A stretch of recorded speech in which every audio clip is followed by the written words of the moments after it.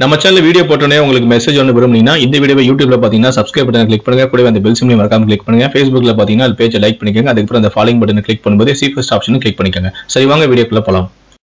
கன்னியாகுமரி மாவட்டம் நாகர்கோயில் அருகே உள்ள ஆசாரிப்பள்ளத்தில் இயங்கி வருகிறது அரசு மருத்துவக் கல்லூரி மருத்துவமனை. நேற்று இந்த மருத்துவமனைக்கு வந்த இளைஞர் ஒருவர் செவிலியர்கள் அறையில் உடை மாற்றும் காட்சிகளை மறைந்திருந்து வீடியோ எடுத்ததாக கூறப்படுகிறது. இதனை கவனித்த செவிலியர்கள் சத்தம் போடவே வீடியோ எடுத்த இளைஞர் அங்கிருந்து தப்பி ஓடியுள்ளார். செவிலியர்களின் சத்தம் கேட்ட சிலர் தப்பி ஓடிய இளைஞரை பிடித்து தருமடியும் கொடுத்துள்ளனர். பின்னர் ஆசாரிப்பள்ளம் காவல் நிலையத்தில் தகவலும் அளிக்கப்பட்டது. இதையடுத்து சம்பவ இடத்திற்கு விரைந்து சென்ற போலீசார் அந்த இளைஞரை பிடித்து விசாரணை நடத்தினார்கள். விசாரணையில்தான் அவர் கன்னியாகுமரி அருகே உள்ள மந்தார்புரத்தை சேர்ந்த மினி லாரி ஓட்டுநரான பிரவீன் வயது முப்பது என்பது தெரியவந்தது. அவரிடம் ஸ்மார்ட் போன் மற்றும் ஸ்மார்ட் போனில் பொருத்தும் கேமரா லென்ஸ் ஆகியவையும் இருந்தது. ஆனால் அவரது மொபைல் போனில் வீடியோக்கள் எதுவும் இல்லை என்றும் கூறப்படுகிறது.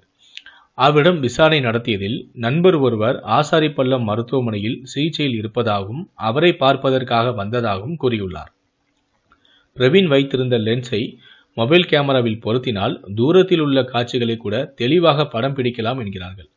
இது குறித்து போலீசார் கூறுகையில் பிரவீனின் மனைவி ஆசாரிப்பள்ளம் மருத்துவமனையில் உதவி செவிலியராக பணிபுரிந்து வருகிறார்.